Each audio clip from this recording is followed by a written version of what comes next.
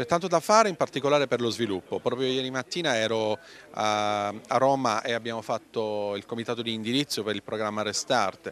che è la previsione di un 4%, del 4% degli importi destinati alla ricostruzione per dei programmi di sviluppo e di rilancio del territorio. E stiamo appunto ragionando anche con la Regione per eh, mettere a sistema tutti questi progetti perché non siano delle cellule a sé stanti ma siano, facciano parte di un progetto unico per il rilancio turistico, imprenditoriale, di ricerca e sviluppo di questo territorio. La proroga non è sufficiente ma come avevamo già annunciato in precedenza sono state già avviate le interlocuzioni con il Parlamento europeo, con la Commissione europea anzi in questo caso. Stiamo aspettando il nuovo Parlamento europeo, la nuova Commissione europea per eh, cercare di eh, mettere una pezza agli errori fatti dai governi precedenti perché non c'è stata una parola quando eh, la Commissione europea ha dichiarato eh, il livello del de minimis a 200.000 anziché a 500.000 non c'è stata una sola parola dal, da parte del governo italiano, anzi diciamo anche di più, c'è stato qualcuno,